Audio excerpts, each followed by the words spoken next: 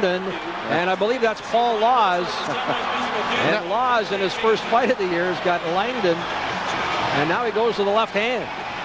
Now, interesting, uh, Darren Langdon's a good technical fighter. Not a big heavyweight, but an excellent fighter.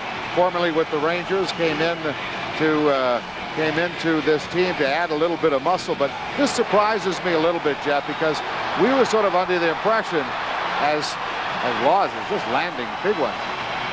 We're under the impression that Paul Laus being on the second line with Niedermayer and Kozlov may not match up with Langdon, who typically plays on the wing on the fourth line of the Hurricanes. But obviously, that not the case as the two heavyweights meet up.